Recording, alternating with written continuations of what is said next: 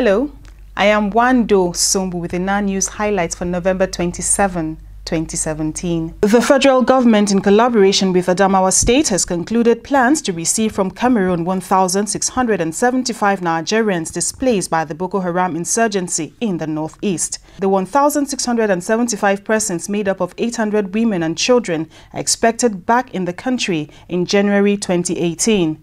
About 80,000 Nigerians who escaped Boko Haram attacks and ran into Cameroon since 2013 are currently living in various internally displaced persons camps in that country. President Muhammadu Buhari at the inauguration of a 30-man national minimum wage committee says Nigerian workers deserve fair and decent living wage.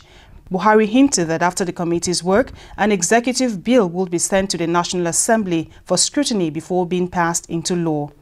The federal government has condemned the alleged auctioning of migrants in Libya, saying it will investigate the matter for appropriate action.